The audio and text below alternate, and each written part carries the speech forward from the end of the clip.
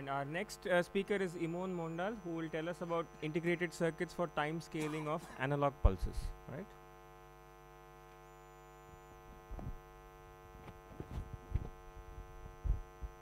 Hello, am I audible?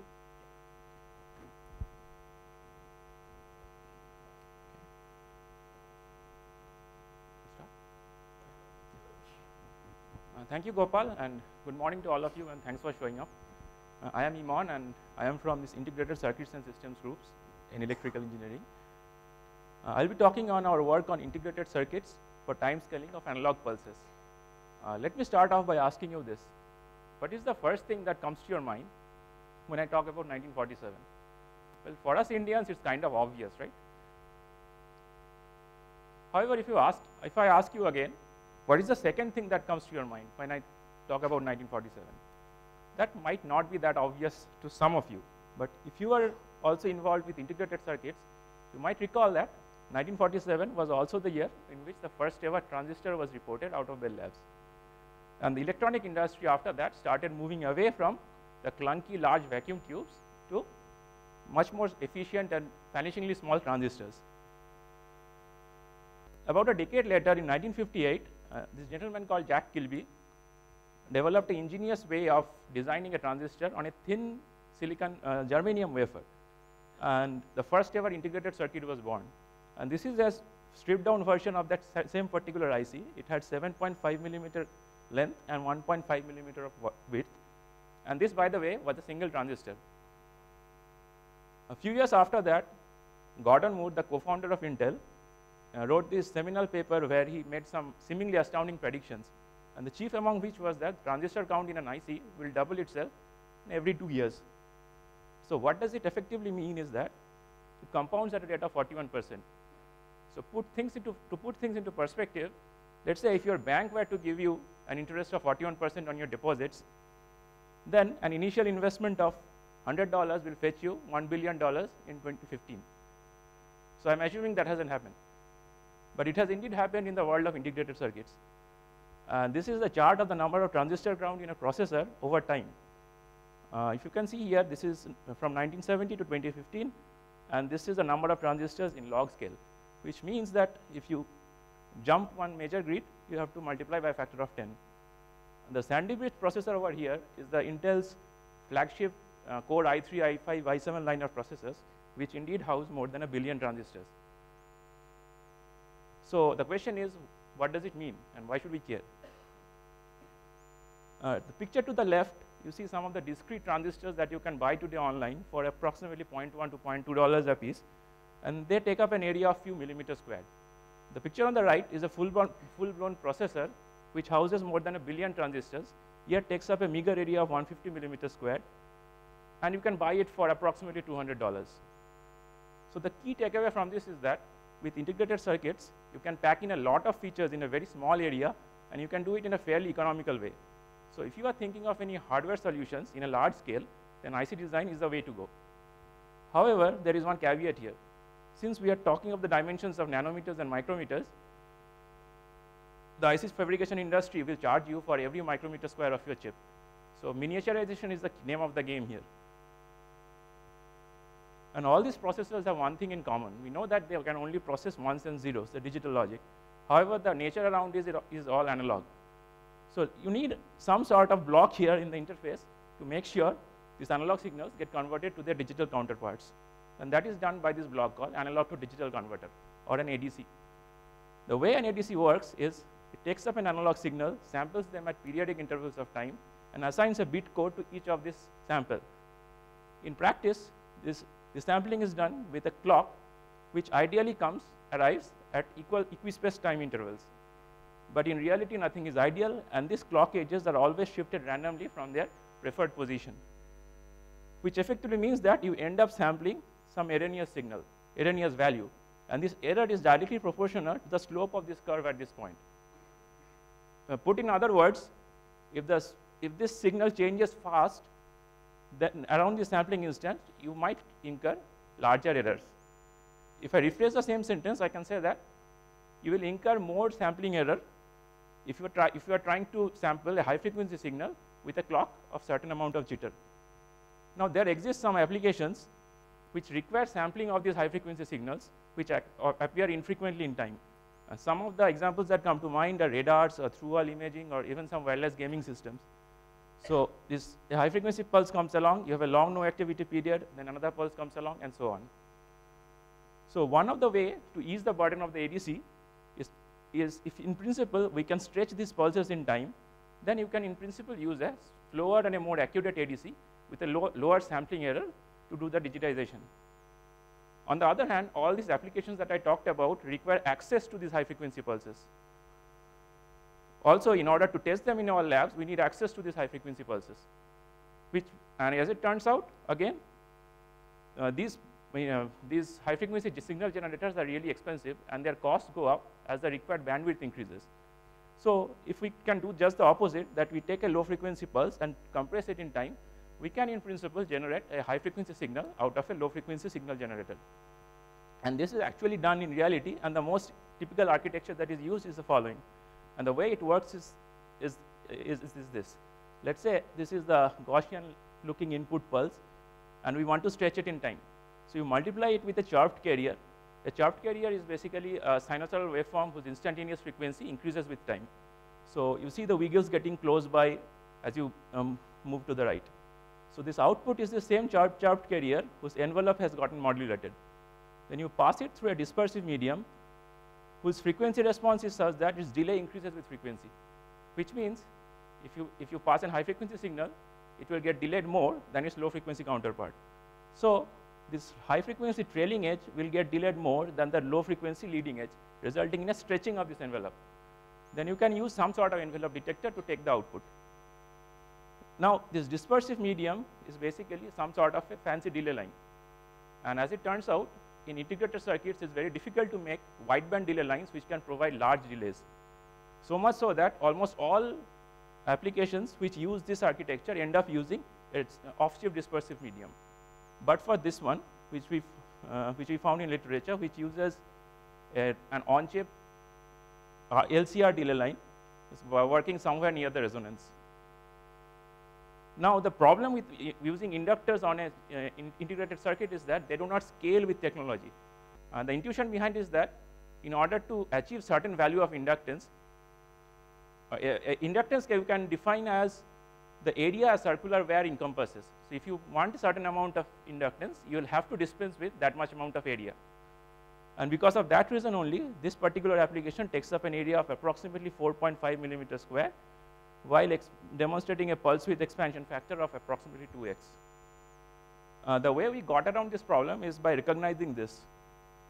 Uh, let's say this is the classical first order RC circuit where this capacitor has some initial voltage of Vc0 and you turn on this switch as t equal to 0. So this voltage will discharge with this uh, equation V dot e to the power t by R minus t over RC and it looks like this for RC equal to 1 second. This can also be thought of as the natural response of this system subject to the initial condition at t equal to 0. Now, somehow if at this time t equal to 0, I change this bandwidth of the system, reduce the bandwidth of the system by factor of 2x by increasing r by factor of 2, then you get this red curve. Notice that this red curve is basically a time stretch version of the blue curve. Or in other words, the natural response of this first order RC system circuit got scaled in time by a factor of 2 when you reduce the bandwidth by a factor of 2. Now, this is not particular to this first order RC circuit. It is a fundamental principle of any linear time invariant network. And this particular paper uses this principle and shows us a way forward. Let us consider this h of alpha s to be some linear time invariant network whose job is to delay the signal by, by some time interval tau. So, you have an input here, it gets delayed by tau. Also consider that, let's say this tau is such that it is more than the width of this pulse, W. So it is in principle possible to find some time T naught where the input has died down and the output has still not started to come up.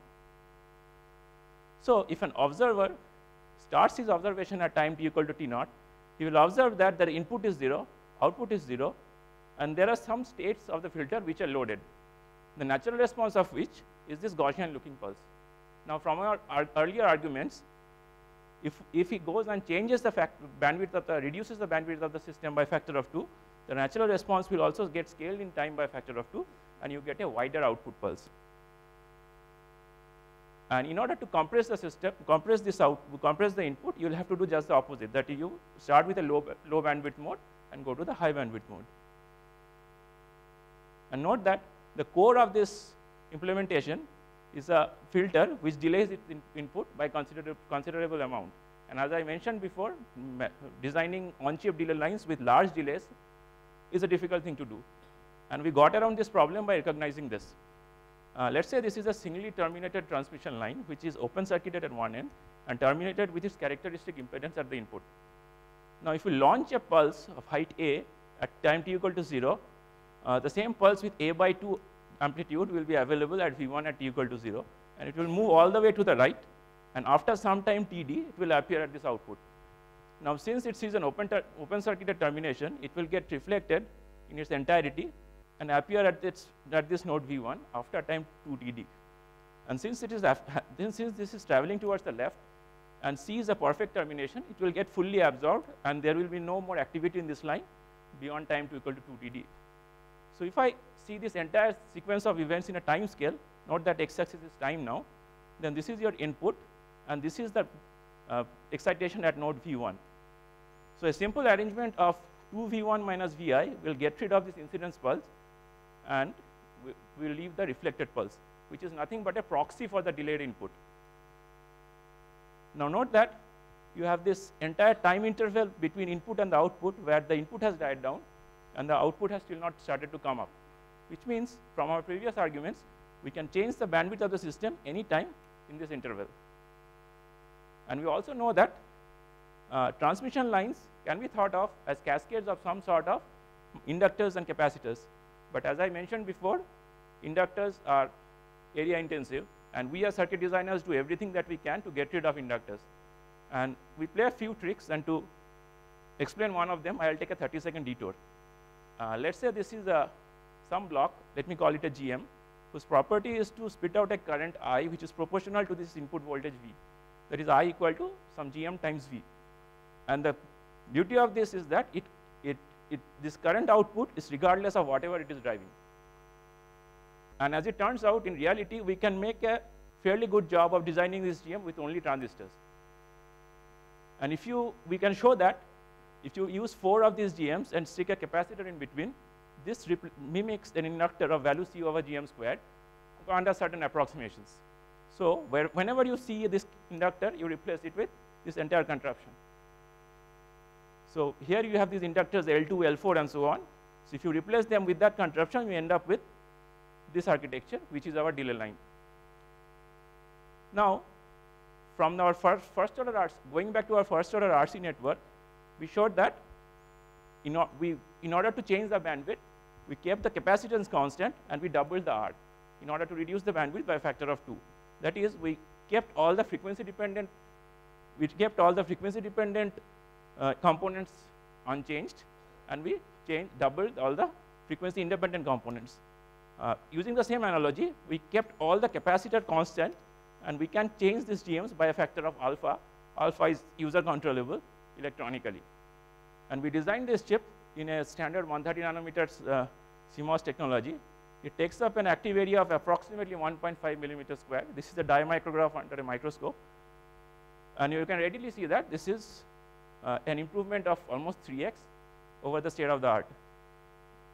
Uh, let me show you some measurement results. Uh, this is the input of the filter, and this is the output when this expansion is not triggered. So around this point T naught, you can observe that the input has almost died down to zero and output has not st started to come up. So if you change the bandwidth of the system around this point, the pulse width expands, and this expansion, expansion factor is approximately 1.8x. And this is an example of a compression. So you have this fat pulse around this, this location here, you double the bandwidth of the system, or in this case, we double, uh, I mean, the factor was 1.7x, and you get a pulse of width of approximately 1.25 nanoseconds. Uh, finally, to conclude, we demonstrated an area efficient pulse expansion and compression technique, which we can use in an IC, and which, which showed to, which has improved the state of the art area efficiency by 3x.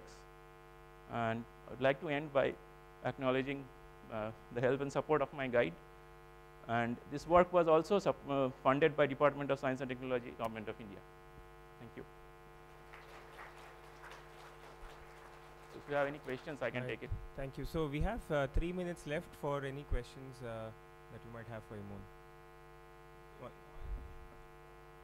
Yes, uh, moment you switch from inductors to GMs, uh, those are active circuits, you will have noise, but that's always a trade-off between active, active and passive.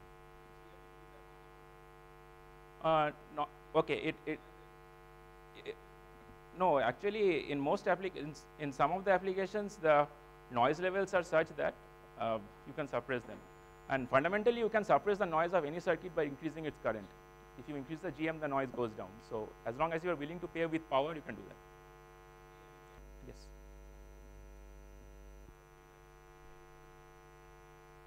In principle, you can get whatever you want, but uh, there were some practical issues that we found while designing this. So that's why it was limited to 1.8x. We plan to do a uh, advanced version of that where we would like to demonstrate at least uh, maybe a factor of two improvement over that.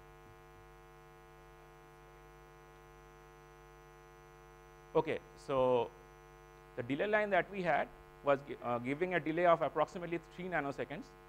Uh, and we were dealing with signals which had uh, width of less than 2 nanoseconds of that order. One question. I can't hear you. Is there a limit on the expansion or contraction? Okay. Okay, so if I, Uh, okay, I don't have it anyways. So, so as long as you don't encroach into the territory of the next pulse that coming that comes in, you are you are free. So it's application dependent.